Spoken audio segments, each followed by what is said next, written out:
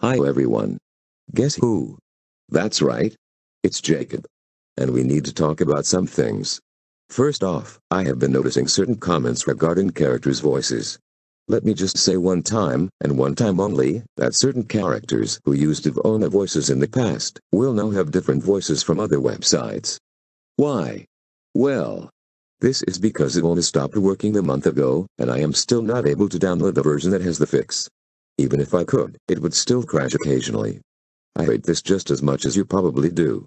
Not having Polly really ruins ideas that I had, and I am forced to adapt so I don't have to constantly be at my wits end importing. Importing, or rather, trying to, is such a hassle for me. I downloaded the workaround the other day and it does not work for me. It only adds to my frustration. I hate not being able to have nice things, like the Ivona voices. It has ruined so much, and I have had to change so many characters' voices because of it. So, once again, the reason why some characters have different voices is due to my inability to both download the version with a supposed fix, and also the inability to import. I am not going to say this again.